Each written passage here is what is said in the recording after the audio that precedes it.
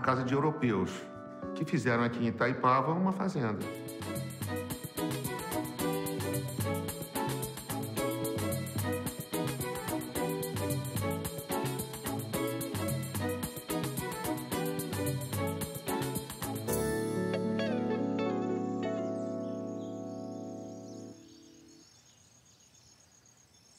É uma fazenda no meio de Itaipava da década de 30.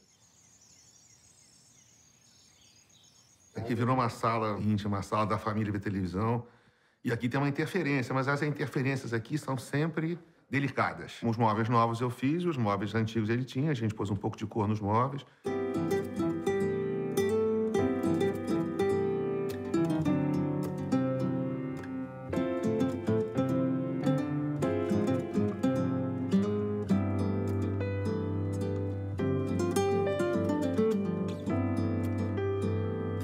Pé direito tem 4 metros.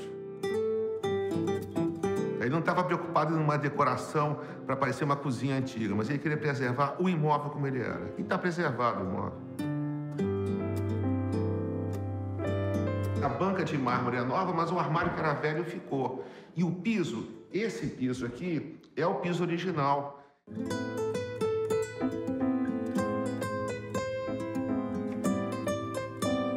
Verdade, começou essa interferência toda com uma estufa que eu transformei numa sala de jogos, numa sala de TV.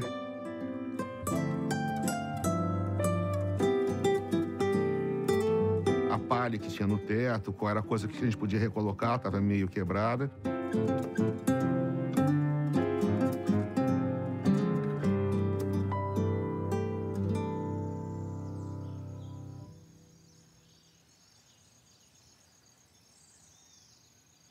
A intervenção foi aproveitar o espaço e criar aqui três áreas de estar. Tem um canto para televisão, um canto de jogos e um outro canto de estar.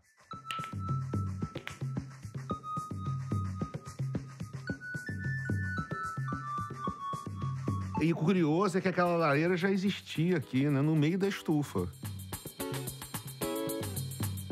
Parece que ela lembra muito uma chopana, né? Parece que eu estou numa casa de praia. Não... É uma estarinha Itaipava com um clima desse. Mas é o olhar estrangeiro para quem mora no Brasil, né?